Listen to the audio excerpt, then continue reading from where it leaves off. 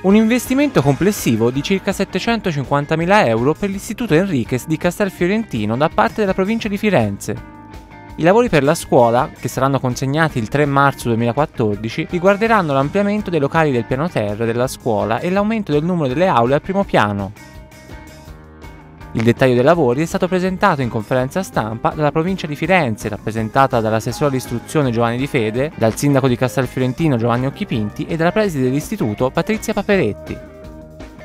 L'inizio di questi lavori che porteranno al completamento dell'area dell'alberghiero e non solo, anche al completamento per una maggiore offerta formativa che potrà allocarsi in questo istituto in in futuro eh, penso all'istituto agrario perché la, diciamo, eh, sarebbe la realizzazione della filiera nel, sul territorio. L'Istituto Enriquez che è una realtà fondamentale nel territorio dell'Empolese Valdelsa, che è un polo di riferimento importantissimo ehm, al quale appunto afferiscono ragazzi provenienti da, dai vari comuni della zona.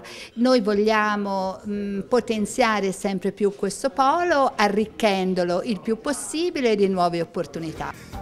Gli interventi riguarderanno l'edificio scolastico al piano terra e al primo piano. In particolare al primo piano è prevista la realizzazione di 7 nuove aule, per una superficie complessiva di circa 360 m2, oltre a 100 m2 tra servizi igienici e corridoi di collegamento.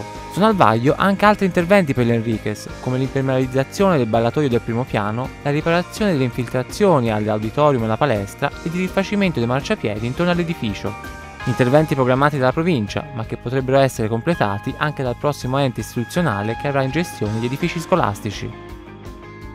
Noi realizziamo sette nuove aule e quindi completiamo un lavoro che iniziò tempo fa e poi aumenteremo il volume con un'altra ala al piano terra. Questo è molto atteso questi lavori ci permetteranno anche di affrontare gli annosi problemi di manutenzione. Noi abbiamo infiltrazioni, abbiamo la necessità di eh, rinnovare alcuni ambienti ed alcune strutture, cosa che faremo con questo appalto. Quindi con oggi possiamo dire inizia un lavoro sulle Riquez di risanamento e di migliorie, ma anche su tutto l'Empolese Valdelsa.